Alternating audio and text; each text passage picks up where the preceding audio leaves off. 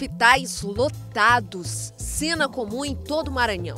São Luís sofre com a sobrecarga já existente na cidade e que é aumentada com o volume de pessoas vindas do interior do estado. Uma situação antiga que espera uma solução há muito tempo.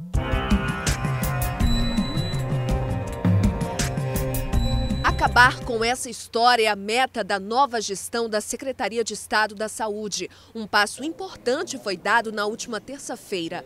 Após a votação do orçamento da União, o Congresso Nacional autorizou o repasse de mais de 88 milhões de reais para a saúde no Maranhão.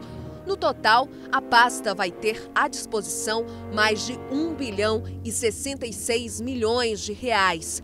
A prioridade do uso da verba é a concretização dos macro-hospitais regionais. Serão unidades em Pinheiro, Santo Inês, Chapadinha, Presidente Dutra, Caxias, Balsas e Imperatriz.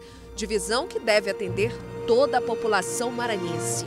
A expectativa nossa com esse aumento, nesse incremento do nosso orçamento, é no sentido de que nós possamos, de fato, oxigenar é, a elaboração de um plano de que acelera a inauguração dos hospitais, os chamados hospitais macro-regionais, aqueles hospitais que foram pensados desde a época do Dr. Jackson Lago, no sentido de você desafogar essa pressão de pacientes sobre São Luís. Com o repasse a ser feito, a distribuição per capita do financiamento do Sistema Único de Saúde no Maranhão aumenta passa dos atuais 142 reais para 160 reais per capita para cada usuário. O secretário ainda precisa resolver um problema vindo da gestão anterior dívidas herdadas e unidades hospitalares que o Estado construiu e não tem como manter. Nos preocupou muito foi essa inversão da lógica assistencial.